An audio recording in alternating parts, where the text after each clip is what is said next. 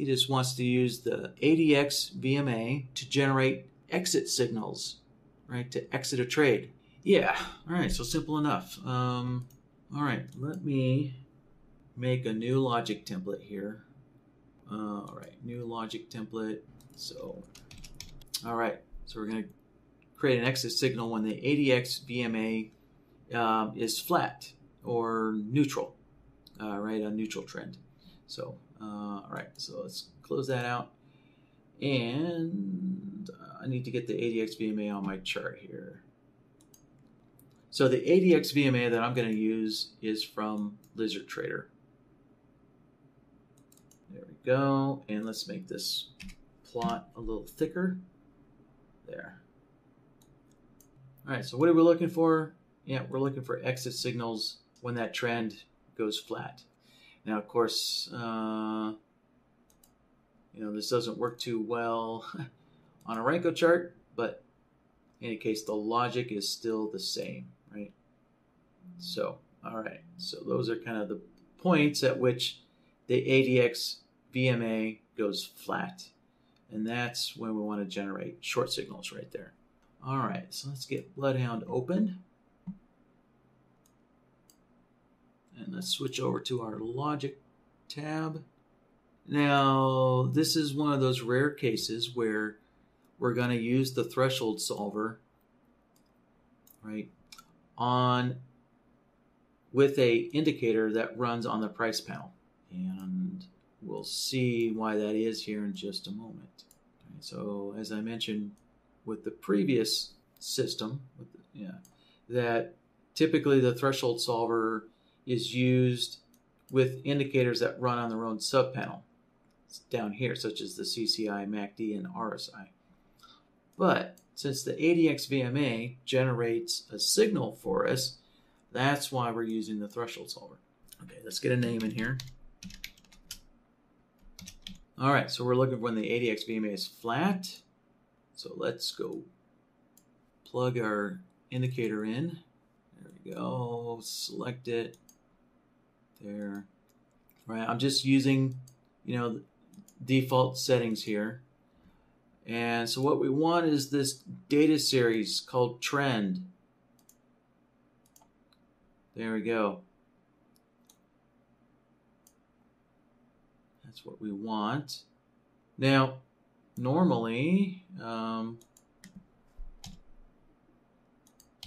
you would just do something like that to actually get the trend state, right? So that's the trend state.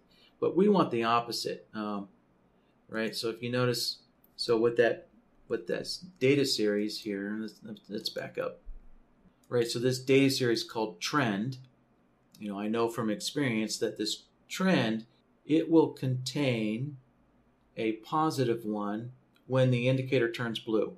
It'll generate a negative one. So when the indicator is, turns red, the trend equals a negative one. And when the trend is neutral, right, the gold area, the trend is zero, right? So zero for neutral, positive one for uptrend, negative one for downtrend.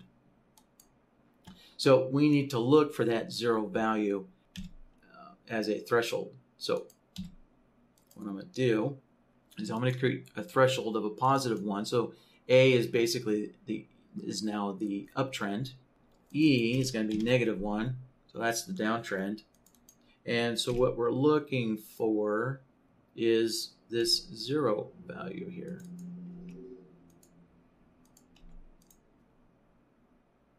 There.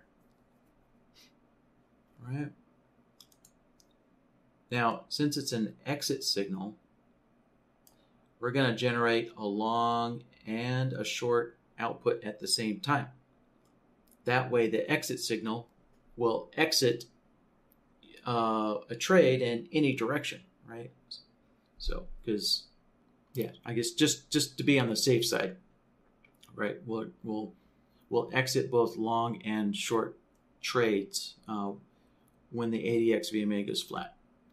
So, um, all right, so let's see. So actually, we could just leave it like this. You know, this is fine if you if you want to make sure that you have no trades on when the ADX VMA is flat. then this will work. You can just leave all of these exit signals on as they are, right? Because an exit signal can't do anything unless there's a trade on, right? If there's if there's no trade to exit, then an exit signal can't do anything, right? It's it's just kind of benign. So having all these extra exit signal outputs is okay because they can't do anything once the signal has been exited. So we could just leave it alone like it is. Um, but you know, just to kind of go a little further, if you want to want things to look cleaner, we'll add uh, some simple logic here to kind of clean the signal up. So I'm grabbing a look back node so I can use the displacement. And then I'm going to use an XOR node. So I'm going to generate a little um, Boolean logic here. Right, so now we can see we're starting to get right uh, a single signal, um, but it's not quite cleaned up yet. We need another AND node. So this is kind of a, a Boolean way using Boolean logic, right? An AND node and an OR node to, to block signals. So now if we look at the chart, what we see, right, is we see we get an exit signal on the first bar of a, a neutral trend. All right, so there you go, first bar. Then we had a little short downtrend, and then we get another exit signal when it goes neutral again. Yep, so there we go. So over here, yeah, we have a we have a couple of bars that go neutral for one bar. Uh, right, so we had an uptrend, then it went neutral for one bar. Then we had a one bar downtrend, then it went neutral again, a one bar uptrend, and then it goes neutral again. So uh, yeah, again, you know, I'm using this indicator on Renko bars and uh, see that this indicator uh, originally definitely was not written for Renko bars. But anyways, there we go.